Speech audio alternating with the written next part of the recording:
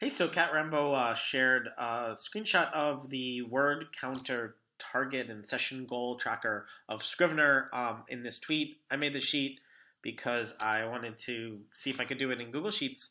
Uh, just less than an hour ago, started on this, and here's what it looks like.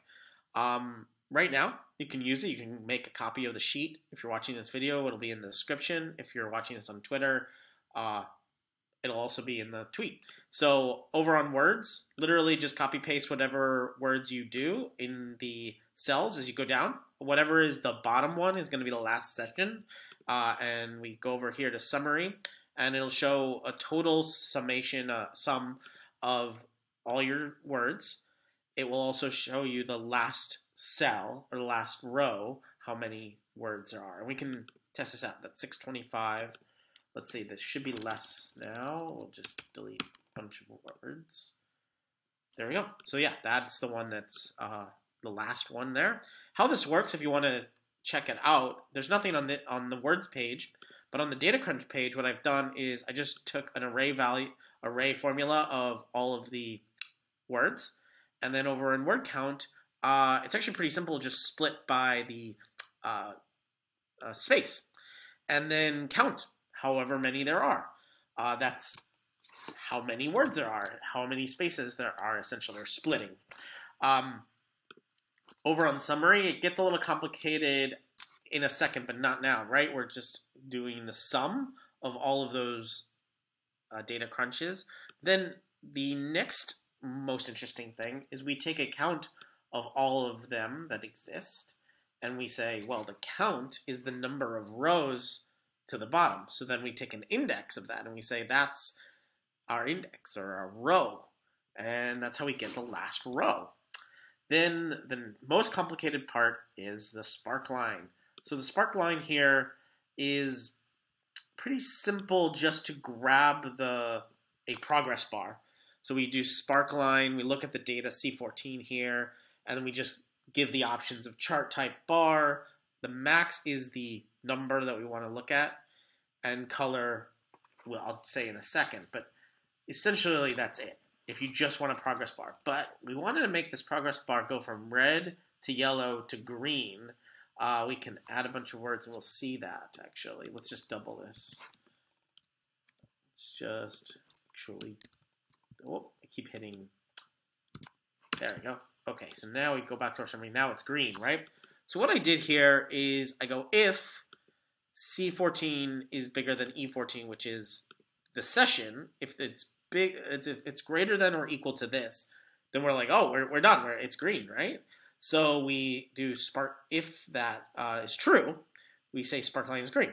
But if it's false, we do one more if statement, and we go if it's if C14 divided by E14, which is the session divided by the total target, then we want that to be greater than 50% or 0.5, and if so, make it yellow.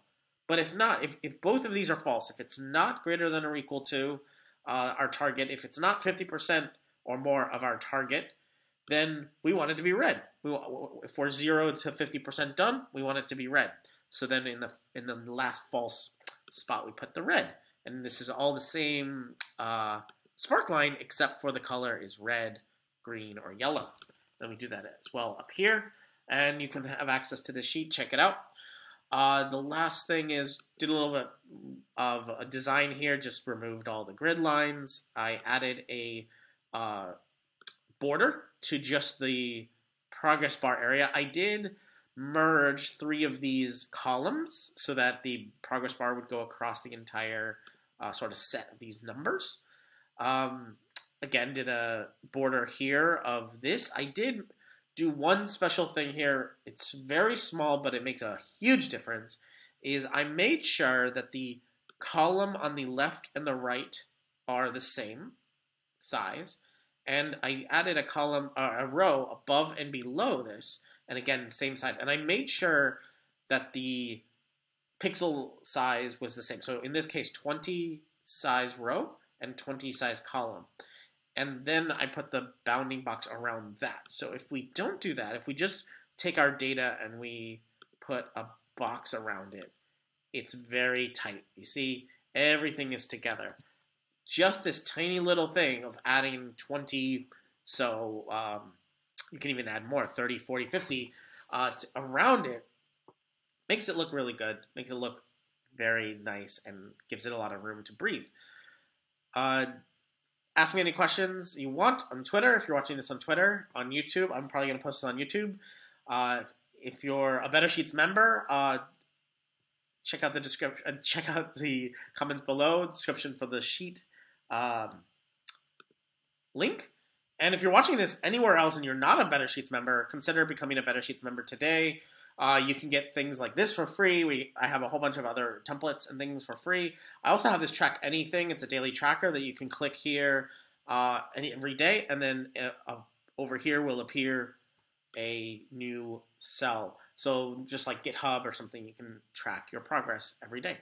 This is free. I'll try to put a, this in the description as well, a link to this. But if you're a BetterSheets member, BetterSheets.co. If you're sorry, if you're not a member, go to BetterSheets.co. One, you get a free membership You get like 60 videos now available to you. If you become a member, uh, there's lifetime access. You can get every single video, which is now almost almost 200 videos. It's like 180 plus videos now available to all members, plus uh, products like Track Anything. But I do way more stuff. Like I think I have a Pro one coming out soon. Also have Only Sheets if you want to sell Google Sheets yourself. Have a ton of other um, sheets available for members, all free once you become a member for one price, lifetime access. I never charge you again for access to videos, products, everything is awesome. Uh, let me know how you like this writing word tracker. If you missed any part of it, if you want me to add more description, let me know. Happy to do so. Bye.